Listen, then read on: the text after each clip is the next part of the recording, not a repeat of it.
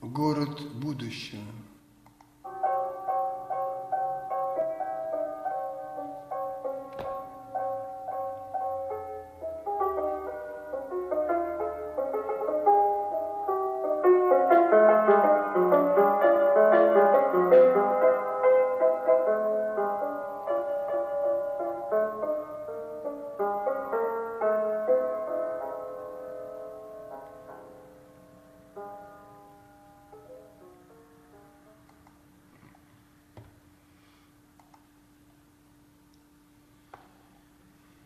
Вот здесь, с этого балкона, можно увидеть город будущего, сказала она, и провела рукой по горизонту. И это было неплохо, подумал я, потому что действительно вид был хороший, река, Открытые дали и островки, не поймешь чего, маленькие рощицы, вот как это можно было бы назвать.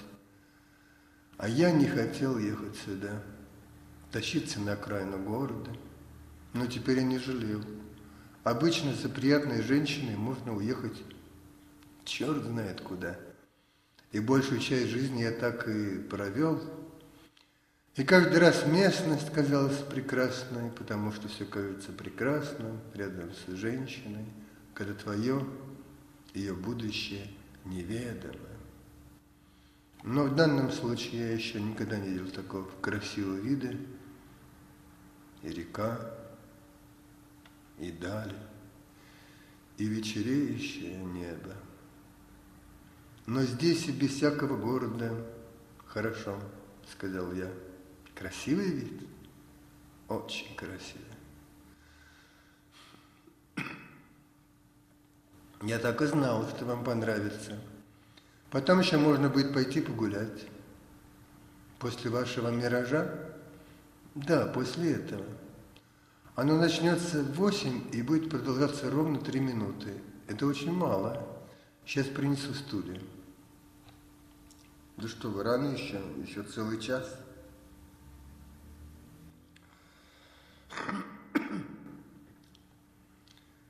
А вы можете посмотреть библиотеку нашу или поиграть на пианино. Я потом вас позову. Я помог ей поставить стулья. В этот момент ко мне внутрь как будто подул ледяной ветер. Я подумал, что в ней есть что-то болезненное. Уже само слово какое-то ненормальное, миражи – но книги я полистал,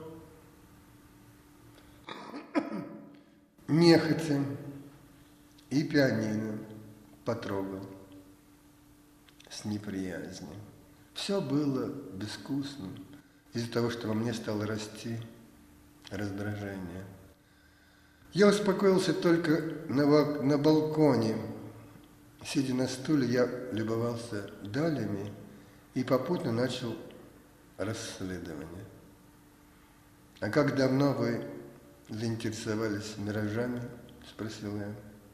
С детства, наверное, отвечала она. Ну, все ясно. Улыбнулся я мрачно про себя и стал искать следы болезненности в ее лице, в ее шее и руках. Она на меня не смотрела, и ничто мне не мешало ее разглядывать кропотливо и с пристрастием. Ну да, думал я, эти морщины на ее шее и шероховатые руки, все это следы болезни, организм истощен, так как сознание работает на этот бред, ну что же, хоть бред оригинальный, миражи. Об этом я еще никогда не слыхал. А вы только в реальности видите миражи?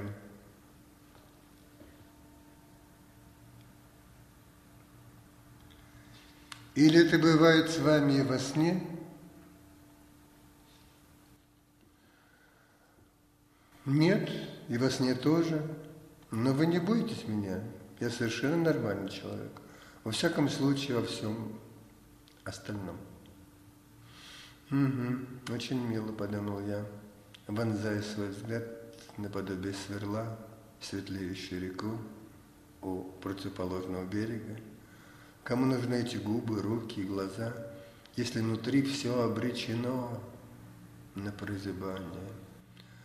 Как же это я раньше не заметил, как это меня не насторожило, что она все время говорит об одном и том же. А что-нибудь еще вас интересует, кроме этого? Спросил я уже почти нехотя. Но вы сами меня об этом стали расспрашивать. Я думал, что вам это интересно.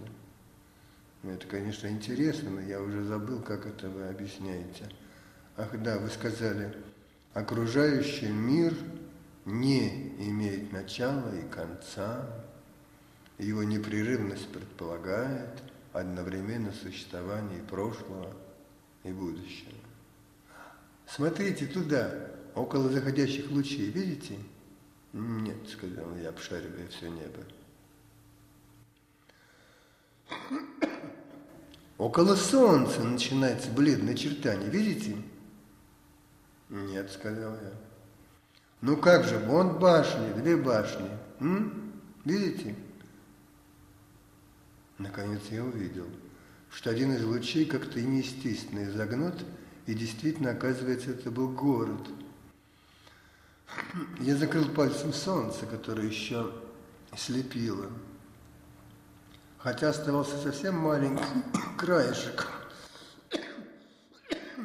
И я уже видел без помех окна.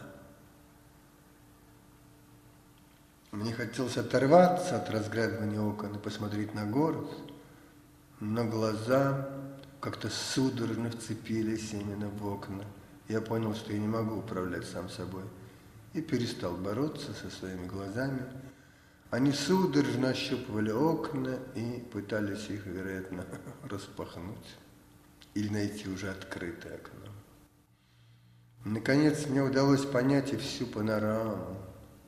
Родилось ощущение, что каждый дом похож на ласточкины гнезда. То есть окна, оказывается, не шли ровными линиями, да и дома были выпуклыми, и не было крыш, это все были сплошные окна. Вероятно, балконы вообще. Вообще все зрелище было какое-то магическое. Хотелось быть другим кем-то. Мне хотелось покинуть свое тело и свое сознание и стать каким-то добрым и счастливым. Эх, хотелось мечтать. Все, сказала она, действительно. На небе больше ничего не было. Город исчез внезапно. Небо светилось довольно ярко еще в том месте, где он исчез. Где-то там, за краем земли, оно еще светило ярко кому-то. Там заканчивался день, а у нас уже был вечер. Мягкий и ровный, кроме того места, где зашло солнце. Но и хотелось быть сдержанным, что ли. Я никому об этом не рассказывал.